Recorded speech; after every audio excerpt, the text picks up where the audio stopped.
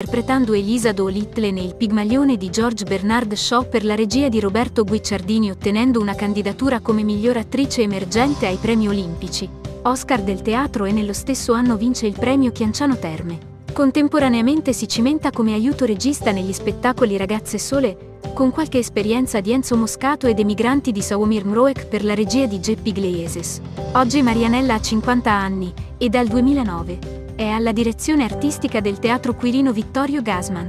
Dal 2010, invece, ha assolto il ruolo di direttore artistico della rassegna autogestito dello stesso teatro. Insomma, una carriera poliedrica, la sua. Nel 2009 sposò Geppi Gleieses. Molti ricorderanno la cerimonia al Campidoglio e la festa al Teatro Quirino. La loro storia d'amore durò 13 anni e poi finì senza che la coppia avesse figli.